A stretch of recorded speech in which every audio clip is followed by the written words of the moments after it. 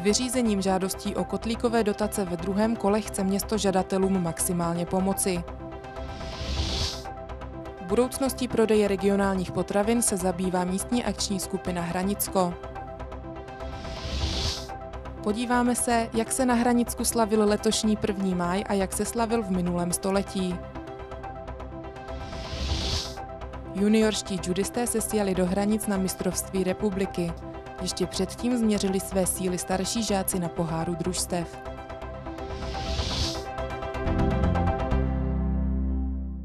Dobrý den, vítám vás u Hranického televizního zpravodajství. Ministerstvo životního prostředí odkleplo druhé kolo kotlíkových dotací. V Olomouckém kraji se jejich vyhlášení očekává ve druhé polovině roku. Hranická radnice hodlá místním občanům s čerpáním dotací maximálně pomoci. My v této chvíli eh, evidujeme možnost, aby eh, jedna z podstatných složek znečišťování, a to jsou bezesporu kotle na pevná paliva, byly vyměněny za vyšší třídy. Podle eh, evidence evidujeme zhruba 300 kusů, které by bylo možno nebo bychom měli zájem obměnit. Hranice se dlouhodobě potýkají se špatným stavem ovzduší. Výměna starých kotlů by podle vedení místní radnice mohla vést alespoň k částečnému zlepšení. Proto město hodlá občanům v čerpání dotací co nejvíce pomoci. Z tohoto důvodu eh, všichni máme zájem, aby patřičné dotace byly čerpány a chceme tedy těmto lidem eh, nějakým způsobem pomoci. Rada se rozhodla, že najmeme nebo připravíme informační místo pro tuto záležitost. Připravíme tedy informační servis pro lidi, jak eh, vyhlášené eh, dotace čerpat. A také eh, dneska nejde eh, se zaměřit pouze na vyplňování dotazníků, ale pro nás je hlavní cíl tedy tyto dotace skutečně obdržet a kotle vyměnit. Z tohoto důvodu chceme také odbornou firmu nebo odborného pracovníka motivovat tím, že dotaci, která bude skutečně získána a kotel bude vyměněn, budeme odměňovat nějakým radou stanoveným poplatkem. Tím si myslím, že dojde ke dvěma věcem a to, že lidé obdrží odbornou pomoc a odborné firmy budou motivovány k tomu, aby se tyto dotace čerpaly. Jarní farmářské trhy jsou za námi. Co bude s prodejem regionálních potravin do budoucna, aktuálně řeší místní akční skupina Hranicko. Farmářské trhy eh, jarní nám skončily, chystáme podzimní, ty by měly být 6. října. Eh, jinak samozřejmě na farmářských trzích se podepsala eh, jako nepřízeň počasí, hodně lidí se nám omlouvalo, takže mm, ti prodejci, kteří přijeli, tak byli velmi stateční, že neodmítli a, a že absolvovali teda tady to kolečko. Součástí farmářských trhů bylo také setkání, které se zabývalo otázkou budoucnosti distribuce regionálních potravin. V informačním centru na zámku proběhlo setkání výrobců se zástupci místní akční skupiny ohledně eh, plánovaného společného projektu na zlepšení distribuce místních potravin k místním zákazníkům. Je to šance pro zdejší region, kterou nabízí eh, dotační program místní naší skupiny, který se rozběhne v létě. Je tam připraveno 2 miliony korun dotací například na eh, rozjezd stále městské tržnice, nebo eh, si můžou ti výrobci například společně zakoupit pojízdnou prodejnu nebo auto, které bude rozvážet jejich zboží do místních už fungujících obchodů. Taky to lze využít na rozjezd bedinkování nebo na e-shop s vlastní zásilkovou službou. E, samozřejmě ti výrobci by mohli ty dotace čerpat každý zvlášť, ale i jejich přáním a záměrem je, aby se připravil nějaký projekt společný, který taky může mít lepší dopad. Jak s dotacemi co nejlépe naložit, by měla napovědět anketa, do níž se můžete zapojit i vy. Anketa, kterou jsme uspořádali, už nějakou dobu běží a ještě poběží zhruba do poloviny května a už se nám podařilo zhromáždit 130 odpovědí, které jsme vyhodnotili a také na tom setkání předvedli, takže už nějaké výsledky máme, ale samozřejmě čím více respondentů budeme mít, tím to pro nás bude reprezentativnější ty výsledky. Jak se na Hranicku slavil 1. máj, se podívejte v naší následující reportáži.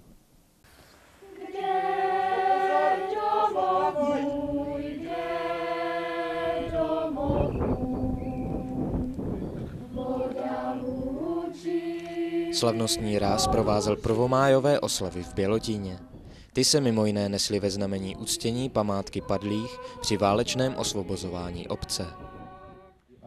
Myslím si, že ani letos tomu nemůže být jinak, že zatímco se nám válka zatím zdaleka vyhýbá po mnoho desetiletí. Tomuto aktu byli přítomni zástupci armády České republiky i ruské diplomacie.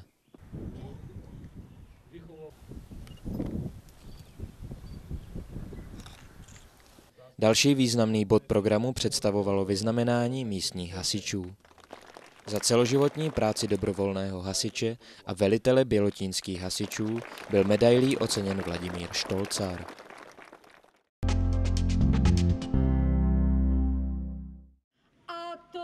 To v Hranicích se oslav 1. máje tradičně ujala komunistická strana.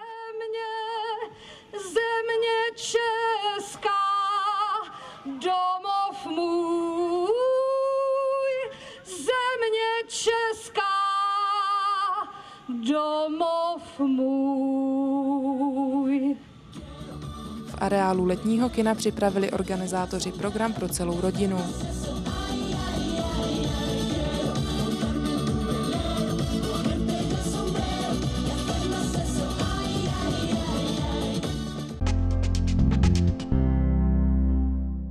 Tentokrát však nebylo letní kino jediným místem v Hranicích, kde se vítal první květnový den.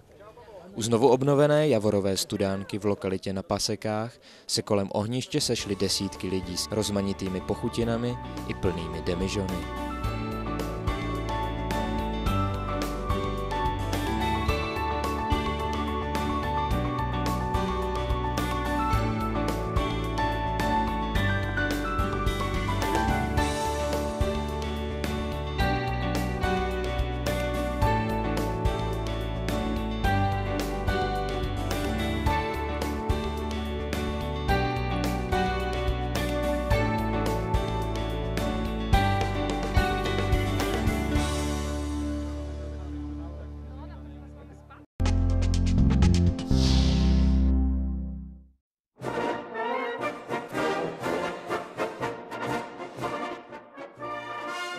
Oslavy 1. máje dosáhly v našich zemích alespoň co do pompéznosti nesporného vrcholu za minulého režimu. Například takto vypadal májový průvod u nás v Hranicích. Všimněte si alegorických vozů i neotřelých politických hesel. V podobném duchu probíhaly oslavy také v nedalekých Všechovicích.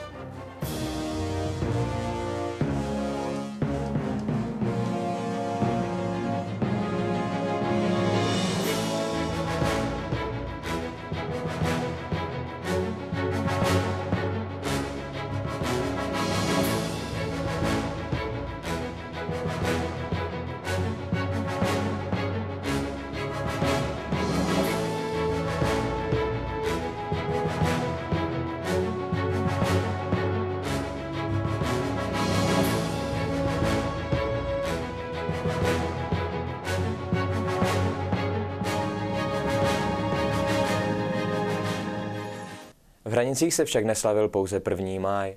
Pod taktovkou tanečního oboru základní umělecké školy se v zámku uskutečnily také oslavy Mezinárodního dne tance.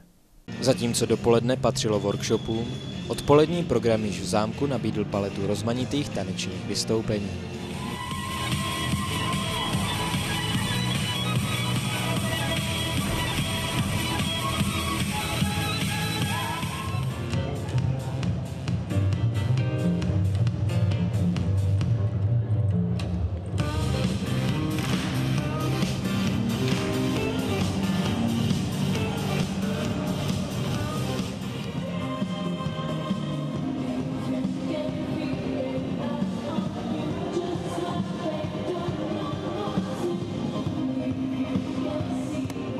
Kromě žáků základní umělecké školy Hranice se představili také soubory či jednotlivci ze základní umělecké školy v Setín a základní umělecké školy Leoše Janáčka Friedland nad Ostravicí.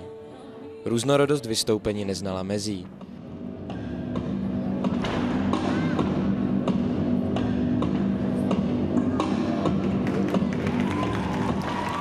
Dramatický milostný příběh tak mohla bez problémů vystřídat klidně četa své rázných uklízeček.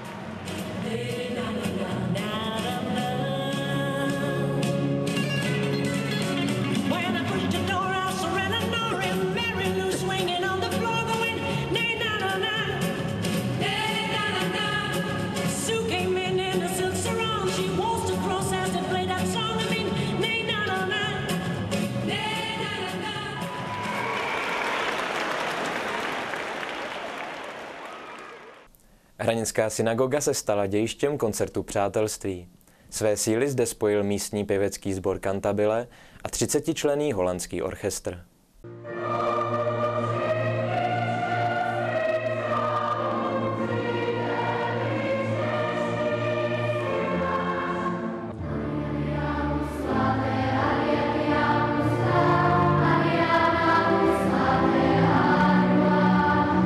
Ti z návštěvníků, kteří čekali pouze klidný poslech, byli brzy vyvedeni z omylu.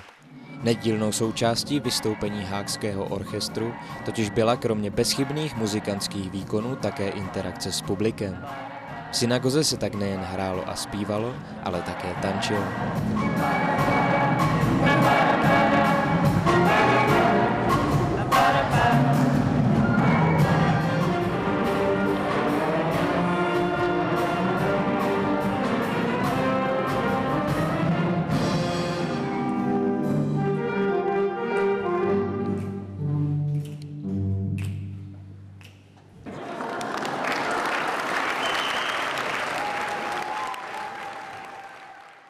A ještě než skončíme, tak se podíváme na dvě reportáže z prestižních judistických soutěží, které se nám do minulého vysílání nevešly. Již druhý rok po sobě hostili hranice mistrovství republiky juniorů.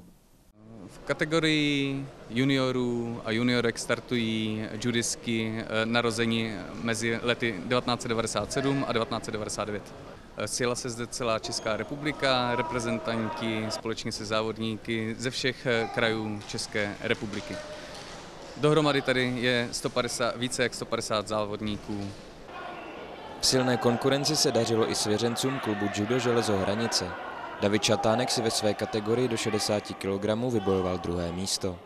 Ve stejné kategorii se dařilo také Tomáši Beranovi, který si došel pro bronz kategorii do 81 kg se na stupně vítězů probojoval Šimon Skurka, jenž skončil třetí. Hranice pořádají mistrovství juniorů již po druhé. Ambice však směřují ještě výš.